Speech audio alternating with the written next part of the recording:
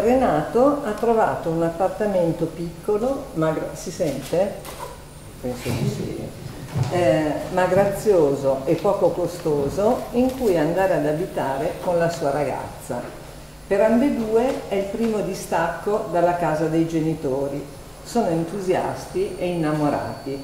Oggi si sono messi gli abiti da lavoro, hanno preso la macchina e sono andati a imbiancare la casa. La dipingeranno in rosa, pistacchio e panna, in omaggio all'estate e alla gioia di poter vivere insieme.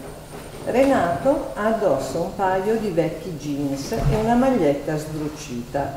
Susanna, la ragazza, porta una canottiera e una graziosa salopette nera scartata da sua sorella. Verso sera gli abiti dei ragazzi sono tutti picchiettati di schizzi rosa, pistacchio e panna. Alle sette suona il cellulare di Renato. È Paolo, un amico caro che fa l'attore. Ho dei biglietti omaggio per stasera al mio teatro, vi va di venire? Eh, sì, però noi siamo alla casa a imbiancare Beh, manca un'ora, ce la fate.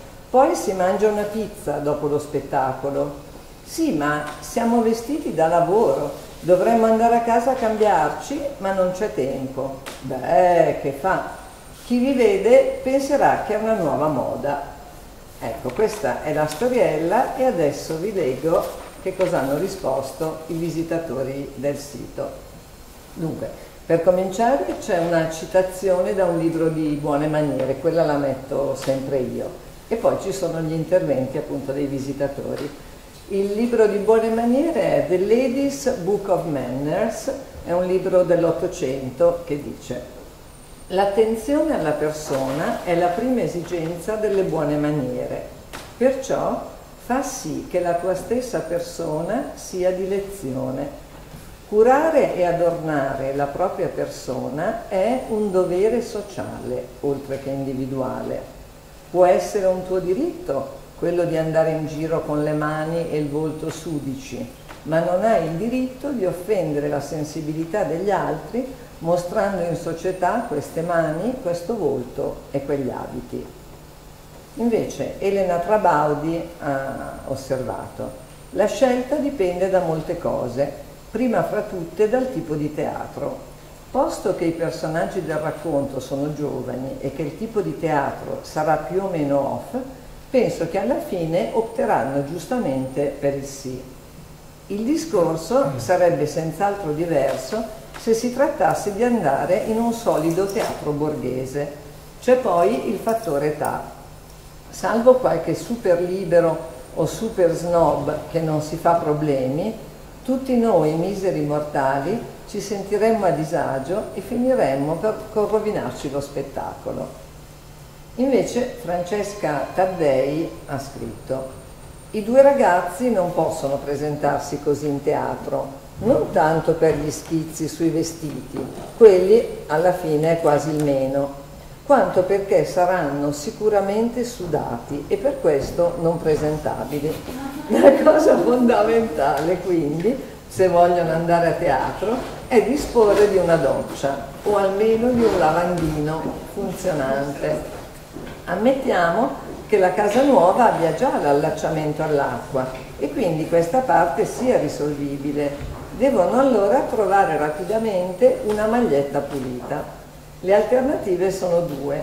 Uno, nell'isolato si trova un negozio di abbigliamento, un supermarket, una merceria dove acquistarla.